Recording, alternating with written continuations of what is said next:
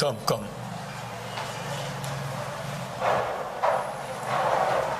Good afternoon sir Please sit down. Please sit down. Thank thank you sir आपको तो देखा है पहले भी।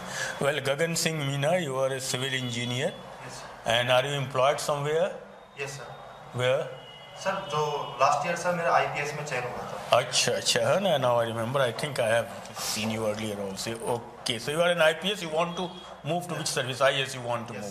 Okay our best wishes are with you since you are a civil engineer let me ask you uh, what is your opinion see seeing the Joshimat appropriate development model for an eco-sensitive hilly areas what could be let me see sir इसके अंतर्गत हम अच्छा sorry आप हिंदी में थे मैंने नहीं कहा ठीक है हिंदी में क्या हो सकता है विकास का मॉडल जो सर जैसे जोशीमठ जैसी जगह है वहाँ की जो सॉइल है उसकी बियरिंग कैपेसिटी सर, सर काफ़ी ज़्यादा कम है। इसलिए हम जो सॉइल की बियरिंग कैपेसिटी के अनुसार वहाँ पर डेवलपमेंट एक्टिविटी कर सकते हैं।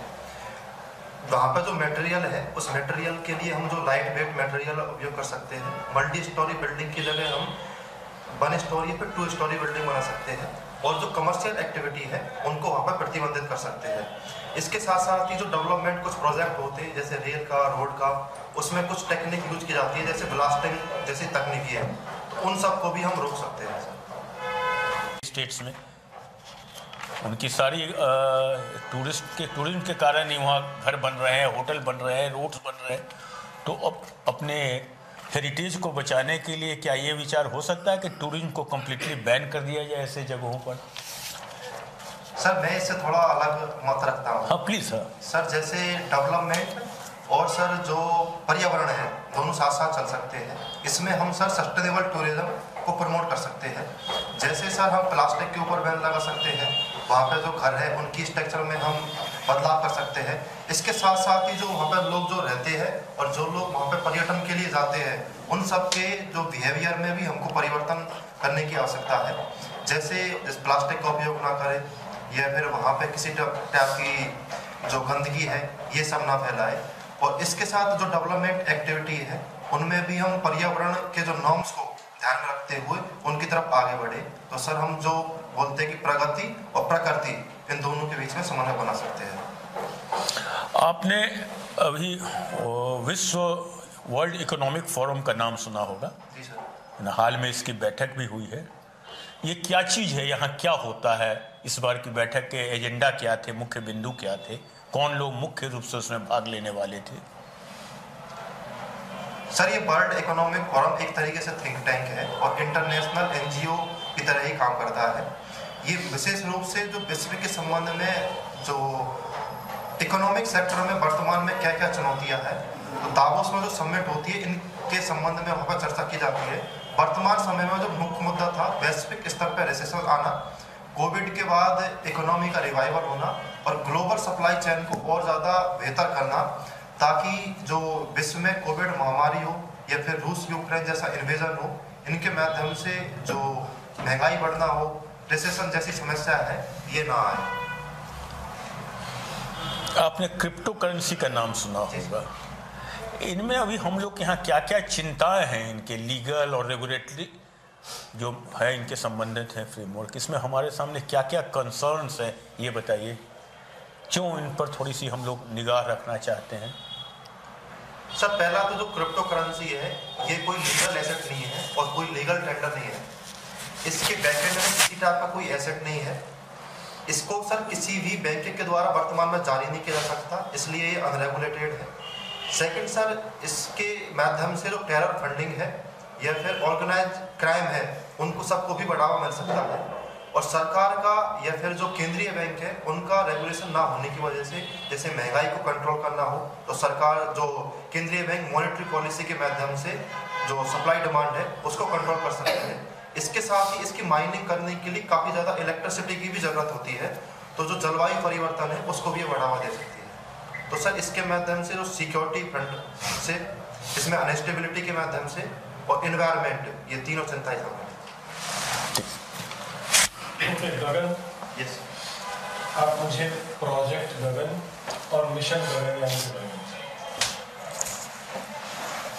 सर जो प्रोजेक्ट गगन था वो GPS aided geo augmented navigation satellite system था इसके माध्यम से एयरपोर्ट अथॉरिटी ऑफ़ इंडिया और इसरो के द्वारा जो जीपीएस के डेटा में और ज़्यादा एक्यूरेसी लाने के लिए इसकी स्थापना की गई है। और सर, जो गगनयान मिशन है, उसके माध्यम से इसरो भारत के नागरिकों को अंतरिक्ष में भेजेगी। ये वुमेन स्पेस फ़्लाइट प्रोग्राम है। इसके काफ़ी सारे जो कंपोनेंट हमने अभी प्राप्त कर लिए और कुछ को प्राप्त करने की दिशा में भी अग्रसर हैं इमेजिनरी नंबर्स के बारे में जानते हैं जी सर। उसका आम ज़िंदगी में क्या इम्पोर्टेंस है? सर वैसे तो जो इमेजनरी नंबर है उनको हम प्रेजेंट नहीं कर सकते। उनको मैथमेटिक्स में किसी नंबर सिस्टम को रिप्रेजेंट करने के लिए उनका उपयोग कर सकते हैं। लेकिन सर हम वर्तमान समय में भी हम जैसे इमेजनरी सिस्टम है कि उनको हम इमेजन नहीं कर सकते। ऐसे भी हमारी जो कल्पनाएँ है वो भी काफ़ी ऐसी होती है कि जो बाहरी दुनिया से संबंधित होती है। तो सर उस तरीके से हम जो हमारी इमेजनरी है फिर हमारे जो ड्रीम्स है वो कहीं ना कहीं वो इमेजनरी संख्या की तरह ही होते हैं। ठीक है। अगर भारत और नेपाल के संबंधों का क्या भविष्य रहेगा? वैसे तो सर जो नेपाल भारत का एक पड़ोसी देश भी है हमने उनके साथ शांति और मित्रता की संधि भी की हालाँकि जो दोनों देशों के बीच में संबंध एक तरीके से रोटी बेटी इस टाइप का रिश्ता है। भारत वहाँ पे काफ़ी सारे अपनी लाइन ऑफ़ क्रेडिट भी प्रदान करता है। हालाँकि सर कभी कभी कुछ चुनौती और जो इश्यू इसमें उत्पन्न हो जाते हैं, जैसे मदेशियों का मुद्दा हो, या फिर इकोनॉमिक ब्लॉकेट्स हो, या फिर दोनों के बीच में सीमा विवाद, जैसे काला पानी और जो लिफू लेक संबंधित था, ये सर इसमें कुछ मेन इश्यू तो क्या आप क्या भविष्य कैसा रहेगा दोनों का? क्योंकि अभी लीडरशिप भी वहाँ पे चेंज हुई है आपको पता है। तो क्या देखते हैं आप कि चाइना वहाँ पे क्या करने की कोशिश करेगा? चाइना का नेपाल में क्या इंटरेस्ट है? भारत का क्या है? नेपाल का क्या है? उन चीज़ों को कंसिडर करते हुए आप भविष्य बताने की कोशिश करेंगे किस तरफ़ ये टाइज जाएँगी? क्या हमें करना चाहिए? नेपाल के प्रति। क्या नेपाल हमसे आशाएँ रखेगा? सर, जैसे जो नेपाल है, भारत और चीन के बीच में बफर स्टेट के रूप में काम करता है। चीन ने भी अपनी जो बॉर्डर रोड इनिशिएटिव है, उसके अंतर्गत वहाँ पर काफ़ी सारा इन्वेस्टमेंट भी किया हुआ है। वर्तमान की जो गवर्नमेंट है, वो भी कम्युनिस्ट गवर्नमेंट है। तो कहीं ना कहीं विचारधारा चीन की और नेपाल की जुड़ी हुई है। हालाँकि सर, भारत सरकार का भी एक कमिटमेंट रहा है कि हम नेपाल में हर संभव मदद करेंगे। वहाँ सा इंफ्रास्ट्रक्चर प्रोजेक्ट हो रेलवे के प्रोजेक्ट हो या फिर जो सर इनका डेफ नहीं। थर्मल पावर प्लांट हो ये सब आपको है, द्वारा बनाए जा रहे थे और सर मैं दोनों देशों का भविष्य अच्छा देखता हूँ। भारत की जो नेवा रोड फ़र्स्ट की नीति है या फिर जो गुजरात डॉक्ट्रेन है वो हमारे पड़ोसी देशों से कुछ अपेक्षा किए बिना हम उनको हर संभव मदद करने की कोशिश करते हैं। चाहे जैसे नेपाल में भूकंप आने के बाद उनकी हमने सहायता की हो या फिर वर्तमान में लाइन ऑफ़ क्रेडिट के माध्यम से उनकी सहायता की पा, पाकिस्तान में अभी जो आर्थिक संकट चल रहा है उसके पीछे क्या कारण देखते हैं? सर इसके पीछे सर काफ़ी ज़्यादा कारण है। जैसे सर जो चाइना से उन्होंने काफ़ी सारा डेट लिया था और डेट को अभी चुका पाने में वो असमर्थ है। तो इसके कारण वहाँ पे जो उनकी इकोनॉमी है उसकी रेटिंग काफ़ी ज़्यादा कम हो गई थी इसलिए बाहर से लोन लेना उनका मुश्किल हो गया था। दूसरा सर जो उनका इकोनॉमिक मैनेजमेंट था, वो इतना रॉबस्ट नहीं था तो उसकी वजह से उनका सप्लाई चेन डिस्ट्रप्शन भी हुआ और उससे महँगाई भी बढ़ने लगी। तीसरी समस्या सर, जो पाकिस्तान में जब बाढ़ आई थी तो उसकी वजह से जो उनकी खाद्यान्न सामग्री थी, इनके ऊपर भी काफ़ी प्रभाव पड़ा। तो इससे जो खाद्य संकट वहाँ उत्पन्न हो गया और वर्तमान में जो महँगाई 20 परसेंट से भी ज़्यादा वहाँ है।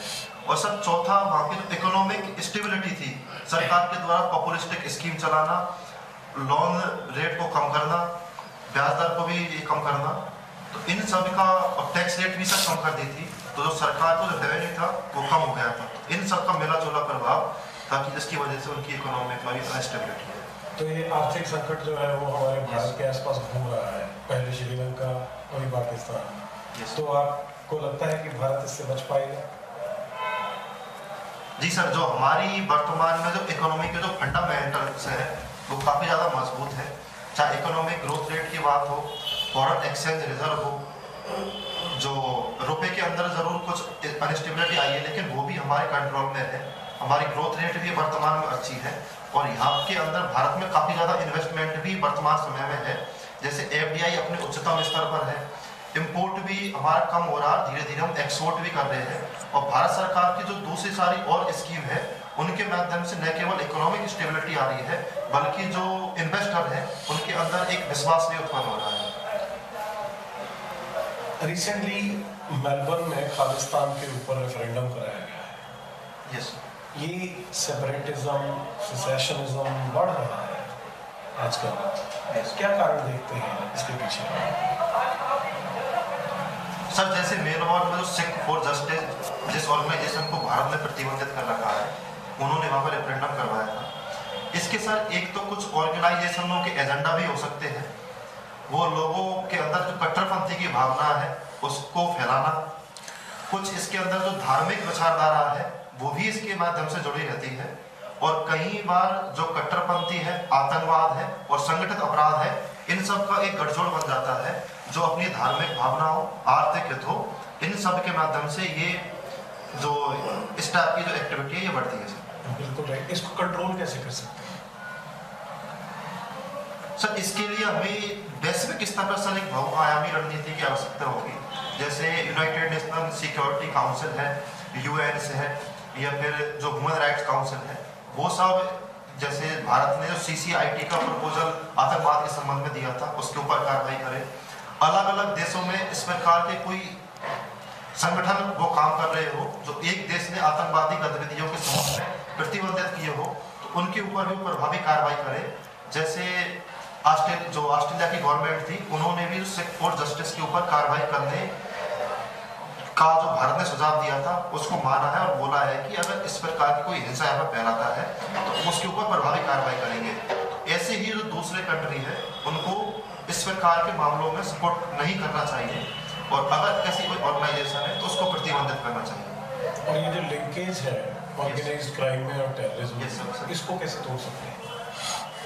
सर जी सर सर इनको भी सर बिल्कुल तोड़ने के लिए हमें पहला सर ये इंटरनेट के माध्यम से आजकल काफ़ी ज़्यादा प्रभावित है। तो इंटरनेट में जैसे आर्टिफिशियल इंटेलिजेंस है ब्लॉक चेन्स है या फिर मशीन लर्निंग है इनके माध्यम से हम उनको रोक सकते हैं। एक इनकी जो फंडिंग होती है तो आजकल क्रिप्टो करेंसी में हो- इनकी फंडिंग हो रही है। तो वैश्विक स्तर पे इस पर कंसेंसस बने कि इनकी हम फंडिंग ना हो। इसके साथ ही सर, जैसे बॉर्डर फाट आतंकवाद होता है, या फिर जो मादक पदार्थ है, उनकी तस्करी होती है तो इन सबको रोकने के लिए जो बॉर्डर रोड जो बॉर्डर इंफ्रास्ट्रक्चर है, उसको भी सर मज़बूत करने की ज़रूरत है। और जो हमारे जो कानून है, वो कानून बेहतर ढंग से लागू हो, और सारी जो मल्टीलेटरल एजेंसी है, और सारे देश है, सभी एक साथ मिलकर इनके ऊपर काम करेंगे। तभी सर इनके लिंकेज को हम तोड़ सकते हैं। और ये जो स्मगलिंग ड्रोन से हो रही है?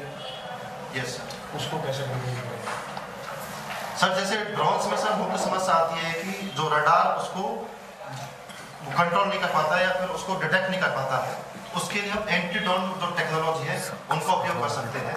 जैसे फेंसिंग कर सकते हैं लेजर्स का हम उपयोग कर सकते हैं फिर एंटी ड्रोन गन्स है उनका उपयोग कर सकते हैं। इसके साथ ही ड्रोन के संबंध में कुछ रेगुलेशन लगा सकते हैं कि ड्रोन को कितने एरिया में उपयोग करता है और जो टेक्नोलॉजी है उसमें और ज़्यादा इन्वेस्टमेंट कर सकते हैं। बट पाकिस्तान वाली साइड पे हम कैसे प्रतिबंध लगाएँगे तो उधर यूज़ हो रहा है ना तो ये सर बॉर्डर पे Yes. तो उस पर हम कैसे प्रतिबंध सर ये बात सही है कि उधर हम प्रतिबंध नहीं लगा सकते लेकिन उसके लिए जो हमारा बॉर्डर की जो फेंसिंग है उसको सर हम मज़बूत कर सकते हैं कि जो ड्रोन का अगर मूवमेंट हो तो तुरंत वो डिटेक्ट हो जाए और तुरंत फिर वो मैसेज जो कंट्रोल रूम है वहाँ पर प्रदान कर दे और जो फिर इसके साथ ही हमारी जो एंटी ड्रोन गन है वो तुरंत एक्टिवेट हो जाए और फिर उसको डिमोलिश कर दे।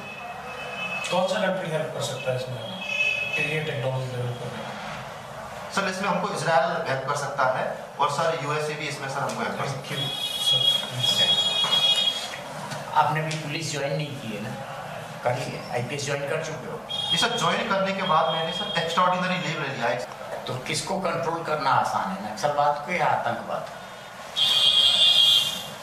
वैसे तो सर, जो दोनों समस्या हो, कोई सर कंट्रोल करने में, जैसे भारत के परिप्रेक्ष्य में देखें तो नक्सलवाद को कंट्रोल करना सर आसान है, क्योंकि वो हमारे देश की समस्या है।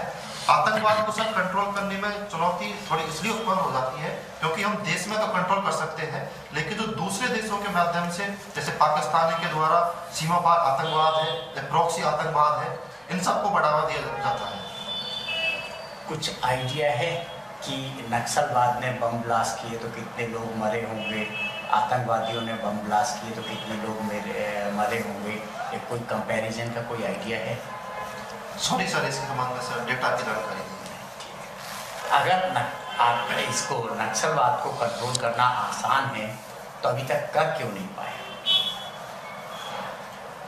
सर आसान सर इस संदर्भ में है कि वो हमारे देश की समस्या है, हमारे लोगों की ही समस्या है तो इसको सर हम डेवलपमेंट एक्टिविटियों के माध्यम से और जो डिफेंस एक्टिविटी के माध्यम से, जैसे पुलिस के बल पे या फिर रिज़र्व पुलिस के माध्यम से आसान से कर सकते हैं। हालाँकि सर, अभी तक इनको कंट्रोल ना कर पाने का कारण एक ये भी रहा है कि जो गुरिल्ला युद्ध वो करते हैं, एक बॉर्डर से दूसरे बॉर्डर तक वो चले जाते हैं। काफ़ी बार उनको आइडेंटिफाई करना पुलिस के लिए भी काफ़ी कठिन भी हो जाता है, क्योंकि काफ़ी वो हमारे ही लोग हैं, हमारे देश के ही नागरिक हैं। तो ये समझ में नहीं आता है कि ये नक्सलवाद है या फिर स्थानीय नागरिक है। तो पुलिस अगर अपनी एक्सेस फोर्स का यूज़ करेगी तो फिर मानवाधिकार के मुद्दे हैं, या फिर और सारे लोग भी इसमें शामिल हो सकते हैं। तो ये कुछ चुनौतियाँ इसमें उत्पन्न हो जाती है। हालाँकि सर, पिछले कुछ वर्षों में से जो तो नक्सलवाद की घटना है, काफ़ी ज़्यादा कम हुई है। जैसे होम मिनिस्ट्री के आंकड़ों के अनुसार, वर्तमान में 25 ज़िले ही सबसे ज़्यादा अफेक्टेड है, और पहले जो नब्बे ज़िले इसमें टोटल ज़्यादा अफेक्टेड थे, वो कम हो होकर अब सैंतालीस हो गए और मरने वालों की संख्या भी, जैसे 2009-10 में लगभग 1500-1600 आदमी मरते थे हर साल में जो लास्ट ईयर 2022 में केवल 150 से 200 के बीच में ही लोगों की जान गई सर आतंकवादी सब विदेशी। जी सर आतंकवादी सारे विदेशी नहीं है कुछ आतंकवादी ऐसे भी होते हैं जो हमारे देश के अंदर ही आतंकवादी गतिविधियों को बढ़ावा देते हैं। जैसे जम्मू कश्मीर के अंदर या फिर जो ओवरग्राउंड वर्कर्स हो या फिर कोई दूसरी और ऑर्गेनाइजेशन हो तो ये सर देश के भी हो सकते हैं। और भारी भी हो सकते हैं। जो नई टेक्नोलॉजी आई है इंफॉर्मेशन टेक्नोलॉजी आईटी है इंटरनेट है इसका नेक्सलाइट्स कैसे उपयोग करते हैं? नक्सलवादी उसका उपयोग कैसे करते हैं? करते हैं या नहीं करते जी सर सर जो इन तकनीकी का वो अपने जैसे फंडिंग लेने के लिए उपयोग कर सकते हैं काफ़ी बार ये आरोप भी लगे हैं कि चीन ने उनको जो इन तकनीकों के माध्यम से फंडिंग की है अपने कैडर को बढ़ाने के लिए सोशल मीडिया जैसे फेसबुक है व्हाट्सएप है, इन सब का वो उपयोग कर लेते हैं। ये सारे system end to end encrypted होते हैं। इसलिए जो पुलिस इन तक पहुँच पाना भी काफ़ी कठिन होता है। इसलिए जैसे व्हाट्सएप कॉलिंग्स है, इन सारे चीज़ों का उपयोग कर सकते हैं। काफ़ी बार कोई एक्टिविटी या फिर उनको स्टाफ का साहित्य निकालना हो तो उनके लिए वो बीपीएल का उपयोग कर लेते हैं, ताकि उनको आईपी एड्रेस है, उसको ट्रेस ना किया जा सके। अगर इसका एविडेंस मिलता है तो इसको कोर्ट में कैसे अप्रिशिएट करेंगे? डिजिटल एविडेंस है, जब्त हुआ। जैसे कोर्ट में केस जाता है तो हम बताते हैं कि ये डॉक्यूमेंट है, ये आप मीना जी का लिखा हुआ है, इनकी हैंड राइटिंग है, ये है, इन्होंने किया था। जब डिजिटल एविडेंस जाता है तो उसको कोर्ट में सिद्ध करने के लिए पुलिस को क्या क्या करना पड़ता है? कैसे सिद्ध करते हैं कि डिजिटल एविडेंस है? उसमें क्या प्रिकॉशन लेना चाहिए? और कैसे कोर्ट अप्रिशिएट करेगा कि ये एविडेंस एडमिसिबल है स्वीकार योग्य है। सर जो पुलिस की जो फॉरेंसिक टीम होती है, वो जो डिजिटल एविडेंस है, उनको एकत्रित करती है और उसके बाद हमारे जो प्रोविज़न से कानून प्रोविज़न है, उसमें ये प्रावधान है, जैसे व्हाट्सएप हो सोशल मीडिया हो तो उनसे हम डेटा एकत्रित कर सकते हैं। तो कॉल रिकॉर्डिंग्स हो उनकी लोकेशंस हो या फिर उनके माध्यम से कोई दूसरे व्यक्ति को शेयर किया गया और सारा डेटा हो तो उन डेटा को एकत्रित करने के बाद हम कोर्ट में उनको पेश करते हैं। इसके साथ हमें ये थोड़ी सावधानी रखनी चाहिए कि इसमें कोई एक ऐसे व्यक्ति का डेटा शामिल ना हो जिसकी वजह से उसकी प्राइवेसी फिर रिश्ता का ना हो। लेकिन ये बताओ हम तो अगर अपने मोबाइल पे आपका नंबर सेव कर लें आपका पैरल में व्हाट्सएप भी चला सकते हैं हम आपके नाम का ईमेल भी क्रिएट कर सकते हैं। कोर्ट को कैसे कहेंगे कि आपने ही किया है? कुछ तो होगा कि नहीं ये आप ही का है किसी दूसरे का नहीं है। कुछ तो होगा तरीका। सर उसके लिए जैसे आदमी की वॉइस को हम टेस्ट कर सकते हैं या फिर कुछ और फॉरेंसिक के माध्यम से फिंगरप्रिंट्स के कुछ नमूने हैं उनको हम टेस्ट कर सकते हैं। या फिंगरप्रिंट्स का डिजिटल से क्या लेना देना सर जैसे आजकल जो फ़ोन उपयोग होते हैं उनमें लॉक अनलॉक करने के लिए फिर खोलने के लिए फिंगरप्रिंट्स का उपयोग होता है। तो उसके डेटा के माध्यम से हम ये कर सकते हैं कि इस व्यक्ति ने अगर इसका उपयोग किया है। तो अगर फ़ोन मिले तब जी सर। जिसके पास डेटा आ रहा है कि आप भेज रहे हो यस सर वो कैसे सिद्ध करेंगे कि आप भेज रहे हो? नेक्स्ट स्लाइड को फ़ोन पे से पैसा आ रहा है। यस सर फर्जी अकाउंट का पैसा आपके फ़ोन पे से ट्रांसफ़र हो गया है। कैसे सिद्ध करेंगे कि आप ही के फ़ोन से गया है? और अगर गया भी है और उसका फ़ोन भी जब्त हो गया कोर्ट में ले गए तो कोर्ट कैसे मानेगा कि ये सही है? कुछ इसका एक तरीका होता है जब्त करने का कि क्या होती है क्या क्या चीज़ें देखना पड़ती है। सुना? सॉरी सर अभी शाहरुख खान के बेटे वाला केस जो हुआ था उसमें कोई चीज़ थी ना कि मोबाइल पे क्या चीज़ करना चाहिए जिससे कोर्ट उसको अप्रिशिएट करे। कोर्ट में एडमिट हो। चल कोई सॉरी बनारस बीएचयू में पढ़े हुए जी सर मालवीय जी ने बनाई थी? यस सर मालवीय जी ने क्यों बनाई थी बनारस हिंदू यूनिवर्सिटी सर जो बनारस हिंदी यूनिवर्सिटी को बनाने का उद्देश्य मालवीय जी का ये था कि जो भारतीय विषय है उनको हम और अधिक प्रमोट कर सके, क्योंकि जो 1916 और 1920 के दशक में जो अंग्रेज़ी विषय थे जो अंग्रेज़ी सब्जेक्ट थी, उनको काफ़ी अधिक प्रमोट किया जा रहा था। इसलिए भारतीय भाषाओं में विद्यार्थी अधिक पढ़ सके और शिक्षा के स्तर को और हम और सुधार सके, इस वजह से सर उन्होंने इस यूनिवर्सिटी का निर्माण किया था। लेकिन बीएचयू का तो मीडियम ऑफ़ इंस्ट्रक्शन इंग्लिश था। अब जाके हिंदी हुआ है कुछ कुछ जगह पे। लेकिन वहाँ तो science agriculture biology engineering medical सब कुछ इंग्लिश में ही पढ़ाया गया। हिंदी में नहीं पढ़ाया गया। सर सॉरी सर, इस संबंध में तो सर मुझे जानकारी नहीं है कि उनको, लेकिन सर, मेन उनका उद्देश्य ये था कि जो भारत के जो लोग हैं, अपने स्थानीय विषयों के अंदर और ज़्यादा रिसर्च एंड डेवलपमेंट कर सके, जैसे कुछ हिंदू धर्म से रिलेटेड कोई धार्मिक विषय हो, संस्कृत की शिक्षा हो या फिर वैदिक ज्ञान हो ये सब भी जो हमारे विद्यार्थी है उनको मिल सके। तो क्या बीएचयू इसके लिए कभी जाना गया? अगर इस उद्देश्य से मालवीय जी ने बनाया था तो बीएचयू क्या इस उद्देश्य से कभी जाना गया कि हिंदी भाषाओं को प्रमोट करने के लिए रिसर्च करने के लिए वेद की रिसर्च करने के लिए वेद के ग्रंथों को बढ़ावा देने के लिए कोई ऐसा आ, बड़ा काम किया बीएचयू ने जिससे मालवीय जी की आत्मा खुश होती कि उनका जिस उद्देश्य से मालवीय जी ने बनाया, वो सफल हुआ क्या? बीएचयू तो आपके नाम से जाना जाता है इंजीनियरिंग कॉलेज के नाम से जाना जाता है मेडिकल कॉलेज के नाम से जाना जाता है, वेद के नाम से और संस्कृत के नाम से तो कभी नहीं जाना गया।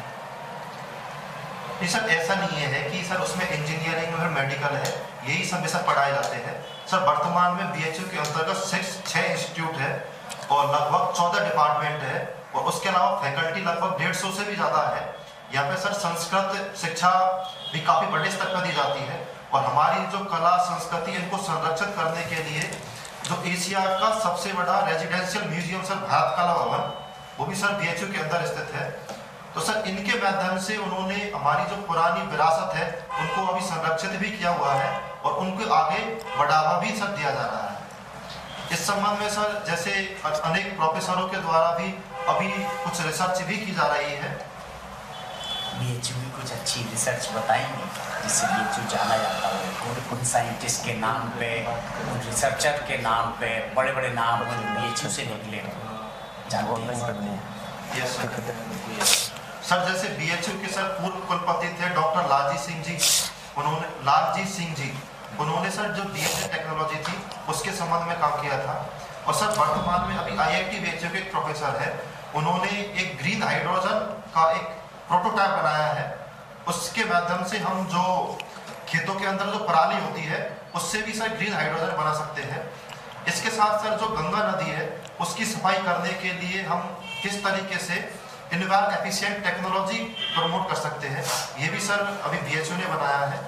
और सर अभी तक सर इतना ही आता साइंस पे आ गए ना? सर वो मालवीय जी ने बी बनाया था रिसर्च के लिए। इंटरनेशनल रिसर्च के लिए लीडरशिप देने के लिए देश को। बनारस के पास सारनाथ है यस बनारस में दो तीन यूनिवर्सिटी अब तो खैर छोटी छोटी प्राइवेट भी होगी। सरकारी तीन यूनिवर्सिटी है। कौन कौन सी? सर एक तो जो काशी हिंदू विश्वविद्यालय है एक काशी विद्यापीठ है। और सर थर्ड एक संस्कृत यूनिवर्सिटी है सर। क्या नाम है संस्कृत यूनिवर्सिटी तो सर नाम तो मुझे याद नहीं कर पा रहा लेकिन संस्कृत और कुछ इम्पोर्टेंट साइट्स हैं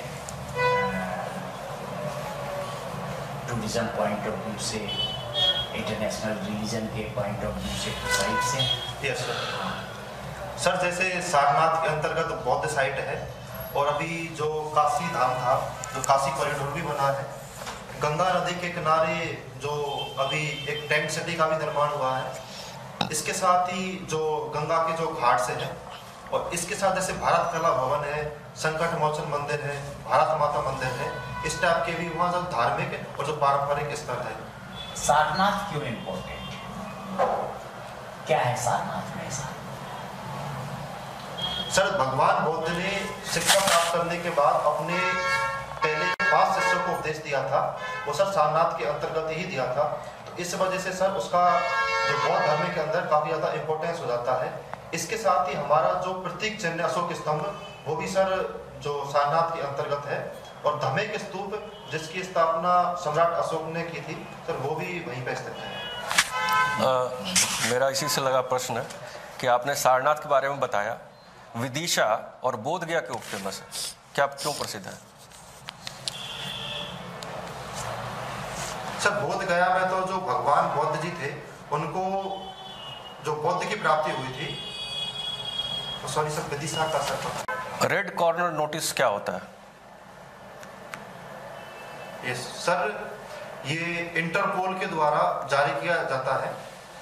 जब कोई एक आर्थिक अपराधी देश छोड़ के भाग जाता है और उसको देश देश में आने की बहुत कम संभावना रहती है तो सीबीआई उनको बोलती है कि आप इस अधिकारी के विरोध में रेड कॉर्नर नोटिस जारी कीजिए जो इस भारत में इंटरपोल की एजेंसी है सीबीआई उसके बाद ये जारी किया जाता है। नॉर्मल पुलिस सिस्टम और कमिश्नरेट पुलिस सिस्टम में क्या अंतर पाते हैं?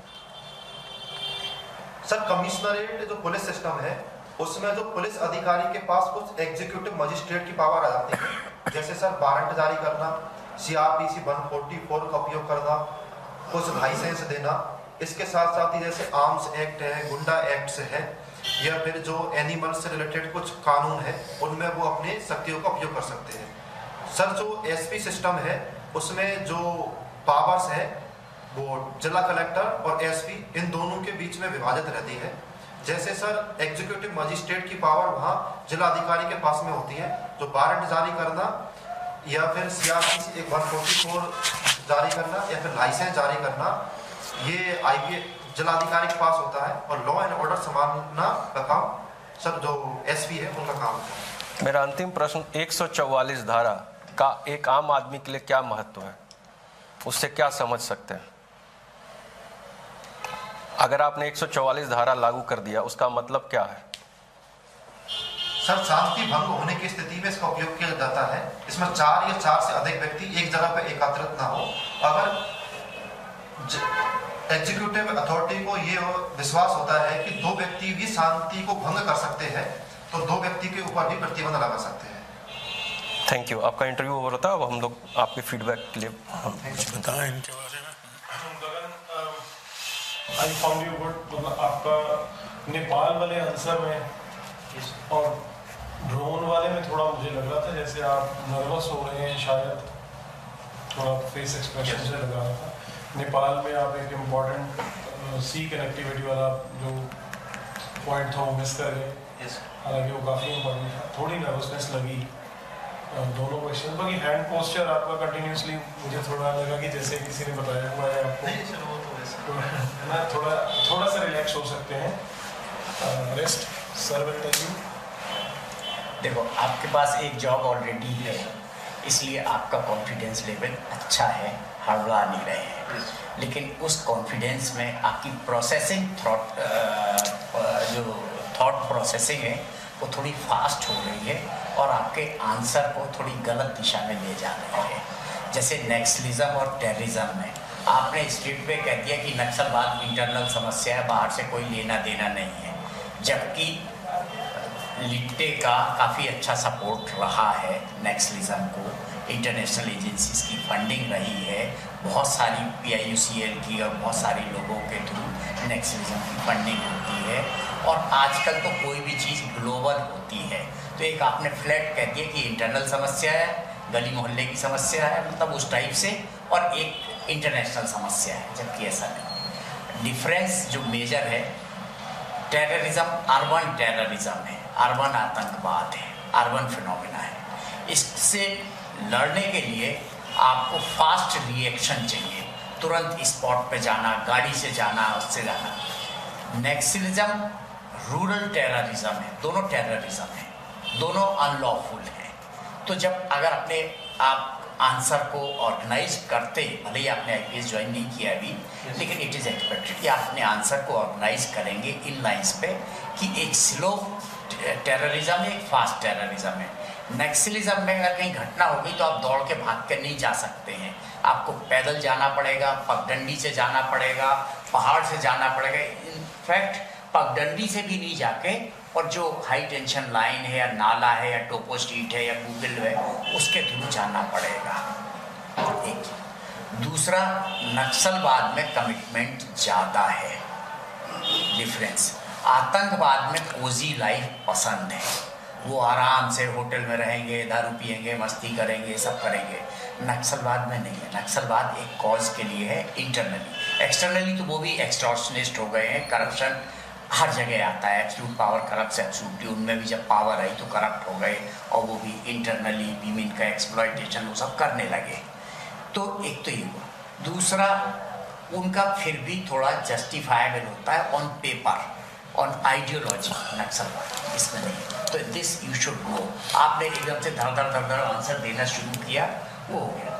दूसरा आपने जब सर ने पूछा कि कमिश्नरेट और डिस्ट्रिक्ट पुलिसिंग में क्या अंतर है तो आपने वारंट जारी करने से सीधे आ गए मतलब यू जम्प्ड मेन चीज़ ये है, एक अकाउंटेबिलिटी कि एक जगह डिस्ट्रिक्ट पुलिसिंग में डिस्ट्रिक्ट मजिस्ट्रेट और एसपी की दो की अकाउंटेबिलिटी होती है। एक पावर डिस्ट्रीब्यूशन या अथॉरिटी डिस्ट्रीब्यूशन होता है। जो कमिश्नरेट सिस्टम होता है, उसमें सिंगल हैंड्स में पावर अच्छाइयाँ बुराइयाँ की बात नहीं कर रहा हूँ। आप पुलिस ऑफिसर आप ऑलवेज सब कहोगे कि कमिश्नरेट अच्छी होती है। लेकिन जब जाते हैं तो मालूम पड़ता है कि अच्छा कुछ भी नहीं होता है। कोई भी अपनी जगह खुश नहीं होता है। सबको कुछ ना कुछ बचा है। लेकिन ऑन पीस ऑफ़ पेपर एक जगह अकाउंटेबिलिटी और अथॉरिटी एक के हाथ में, एक जगह दो। तो this is called dual control and that is called single control बाकी वारंट जारी करने की चीज़ नहीं होती है। प्रिवेंटिव सेक्शंस में ऑर्डर इशू करने की होती है। बहुत सारी जगह कुछ आर्म्स एक्ट के पावर है, कुछ जगह नहीं है। They are all different things एक तो नॉमिन क्लेचर डिफरेंट होता है और दूसरा थोड़े से एग्जीक्यूटिव मजिस्ट्रेट के पावर पुलिस ऑफिसर्स के पास जाते हैं। ये है। तो आपको मालूम था आंसर लेकिन आपने जल्दी जल्दी में। दूसरा, आपने 144 का कहा it is known to common man पाँच या पाँच से अधिक होता है, चार नहीं होता है। आपको मालूम रहा होगा, जब सर ने कहा कि एक लगा देंगे तो क्या हो जाएगा? वैसे इंडिविजुअल के अगेंस्ट भी लगता है। आप मतलब प्रोहिबिटरी ऑर्डर है आपको कहा जाता है, ये काम आप नहीं करेंगे। हाजी मस्तान के खिलाफ लगाया गया था कि आप आगरा से बाहर नहीं निकलेंगे। आगरा के अंदर इंडिविजुअल के अगेंस्ट भी लगता है। लेकिन जब क्राउड की बात होती है, पाँच और पाँच से ज़्यादा लोग एक साथ होकर बिकॉज़ क्राउड की डेफिनेशन बन जाती है। एक से कोई मतलब नहीं वो क्राउड की डेफिनेशन बन जाती है क्राउड फॉर्मेशन रोकते हैं। इसलिए पाँच की बात करते हैं। चार की बात लॉ में कहीं बाकी बहुत अच्छा है। फास्ट रिप्लाई थोड़ा प्रोसेस करके रिप्लाई दोगे। और आपको इस चीज़ का जवाब होना चाहिए कि पुलिस छोड़ के क्यों आई में जा रहे क्योंकि आपने ऑप्शन भी केवल आई दिया है फॉरेन सर्विस भी नहीं दिया है। तो उसके लिए you prepare yourself you are very good your total presentation is good, confidence is very high, it had to be. तो इसलिए wish you all the best thank you शायद हो? आईपीएस में आईएएस बनना चाहता हूँ शुभकामना है। सब इसलिए आपको ख्याल है, आपको पुलिस और इन सब चीज़ पर काफ़ी क्वेश्चन आ सकते हैं। जो एक सौ चौवालीस की बात है, सामान्य हम लोग यही कहते हैं, एक सौ चौवालीस लग गया मतलब पाँच से एक सौ चौवालीस में कुछ भी ऑर्डर पास किया जा सकता है कि मैं। और पाँच का कंसेप्ट कहाँ से आया, वो सेक्शन 141 ऑफ़ सीआरपीसी पढ़ लेना। आप पढ़े होंगे, तब आप समझिए कि पाँच क्यों आता है। तो है जनरल पब्लिक और आपके आंसर में फ़र्क होना। एक सौ चौवालीस पाँच का ही नहीं बोलता है। एक आदमी से बताया इन्होंने। एक सौ इकतालीस पाँच आदमी को अनलॉफुल असेंबली कराता है। तो ये सब चूँकि आप पुलिस के हैं, इसलिए बहुत ध्यान की बात होगी, ये बड़ा क्रुशियल हो जाएगा। बाकी कोई ठिकाना नहीं, क्या क्वेश्चन आए जनरल क्वेश्चन इकोनॉमिक्स देने पढ़ो और बेस्ट विशेष विथ यू आप कॉन्फिडेंट है, आप अच्छा करेंगे। आपके जो क्वेश्चन सर ने तो बाकी हमारे जो आंसर है, उसको बता दिए। एक जो प्रश्न मैंने पूछा था कि पुलिस अधीक्षक हैं तो मैंने आपसे पूछा पाँच वैसे काम बताइए वो प्राथमिकता आपकी तय होना चाहिए। पहले बार में ही आप उससे आप अपने सुपीरियर को तो इन्फॉर्म किए ही नहीं वो आप चौथे नंबर पे बोल रहे हैं। क्या पता आपके पास उतनी पुलिस फोर्स है कि नक्सल एरिया में जाकर उसको रेस्क्यू करा पाए? या हो सकता है उनका डिमांड क्या है? ये भी तो एक चीज़ हो सकता है। तो आपके लिए सबसे पहले आप अपने सीनियर को तो बोलेंगे पूछेंगे ना? आपने मैंने आपसे पूछा जब अधिकारी के रूप में ज्वाइन कर मतलब सर मैं उस हिसाब से बताया था कि सर एक मेरे अंदर भी लीडरशिप की क्वालिटी होनी चाहिए कि मैं भी तो पहले अपनी तरफ़ से कुछ एफर्ट करूँ। मैं कह रहा हूँ आप अधिकारी ऑलरेडी हैं। आप क्यों सर सर मैं जी जी जी। जब अगर ऐसी घटना होती है इसीलिए मैं नेक्सलिज्म और टेररिज्म था इसको मैं सॉरी मैं address I should have address this आपका रिप्लाई एक नॉर्मल क्राइम के हिसाब से था कि कोई आदमी चाकू पिस्तौल से दो दो लाख रुपए लूट के ले गया। जो उसके लिए रिएक्शन होना चाहिए, आपने जो बताया वो था। नेक्सलिज्म बहुत ही डिफरेंट पुलिसिंग चाहिए होती है। नेक्सलाइट कहीं दिखता इतना नहीं आपको कि आप बैठ कर नेगोशिएट करोगे कि अपनी डिमांड बता दो और अपनी ये कर देंगे आप नेक्सलाइट के लिए सबसे पहली चीज़ you have to inform your senior superior seek their guidance जो कि उनके पास देन कलेक्शन ऑफ़ इंटेलिजेंस कि गए कहाँ हैं? सेकंड है। कहाँ गए हैं? You don't have to rush फिर कॉन्टेक्ट कैसे इस्टेब्लिश हो? आप जाओगे मोर्चा लगा के बैठे हो सबको मार देंगे। आप जिस रास्ते से उनके मिलने जाओगे, वो लैंडमाइन लगा के बैठे हैं, पूरे को ब्लास्ट कर देंगे। ये एक टैक्टिक्स होती है, एक ट्रैप होती है कि एक को किडनैप करके ले गए और बाकी फोर्स मोबिलाइज हुआ, उसको पूरे को उड़ा दिया। उनका उस एक में इंटरेस्ट नहीं है। उनका वो चालीस मारने में इंटरेस्ट है। तो ये बहुत ही है लोकल एरिया में उनके छुपने के स्थान उनके रहने के उनके साथ खाना उनके हार्बर के बहुत लंबी चौड़ी कहानी इसकी होती है। आप इनकी पुलिस ट्रेनिंग पूरी होगी तो। बहुत है हाँ, इसलिए इसको आप कहिए सीनियर ऑफिसर्स को बता के इट्स डिफरेंट थिंग जो आपने बताया बहुत अच्छा किया आपने गैस किया कि अगर कोई लेके गया इसको अपराध को ऐसे पकड़ना है। But next is terrorism okay you can do it it's very different चलो पुलिस ऑफिसर हो इसलिए इन सब चीज़ों को पूछे जाएँगे है ना? मेहनत करो अब आपको उम्मीद है आप अच्छा करेंगे हाँ नहीं बाकी और आप में थोड़ा सा मतलब क्योंकि अब इनसे क्वेश्चन आपके अंदर सिलेक्शन पा ली है तो थोड़ा सीरियसनेस चेहरे पे है। मतलब ऐसा लगता है कि जैसे आप खड़े हो वॉर जोन में और आपके आंसर्स निकल रहे हैं। हाँ। थोड़ा प्लेजेंट रही है मतलब ऐसा लग रहा है कि ठीक है आपका सिलेक्शन हो गया अच्छी बात है आप आई के लिए जा रहे हैं बट ऐसा भी नहीं लगना चाहिए कि अभी से आप मोर्चा संभाले हुए हैं। वो थोड़ा सा आपके चेहरे पे झलकना चाहिए। कोई स्माइल नहीं है कोई आई मूवमेंट नहीं है। एकदम सिंपल सीधा क्वेश्चन आया फायर करना शुरू कर दिया। तो थोड़ा सा उसको पॉज लेके थोड़ा, थोड़ा रिलैक्स हो ऐसे ठीक है। बाकी ओवरऑल कॉन्फिडेंस मतलब बीइंग हिंदी में अगर आप इंटरव्यू दे रहे हैं तो अच्छा है। अभी तक तो हमने आज दूसरा या तीसरा कैंडिडेट था हिंदी में बट उनके कंपैरिजन में तो आप बहुत ही मतलब बेहतरीन है उस हिसाब से। थोड़ा सा और आप अपने को इम्प्रूव करिए। ठीक है? ठीक है जाइए। चलिए हम बेस्ट विशेष हमारे आप लोग के साथ है। थोड़ा रिलैक्स रहना और कोई बात नहीं है। एक मिनट बैठ